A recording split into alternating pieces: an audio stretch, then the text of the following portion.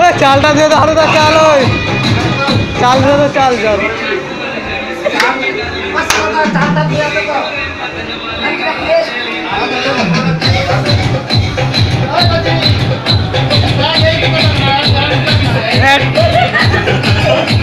চাল